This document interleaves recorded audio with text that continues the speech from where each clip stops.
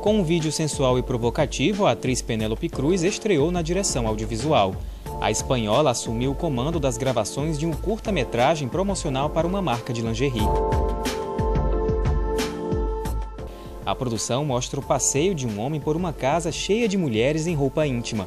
A cada ambiente, ele vai sendo surpreendido por diferentes cenas sensuais.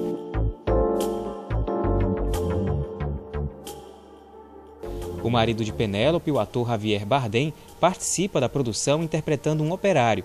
A irmã da atriz também colabora numa das cenas, em que surge grávida. O clímax da narrativa é protagonizado pela modelo Irina Shayk, namorada do jogador Cristiano Ronaldo.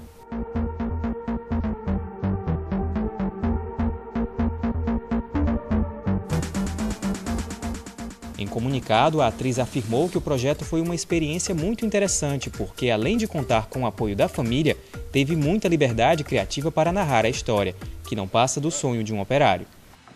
Foi comigo.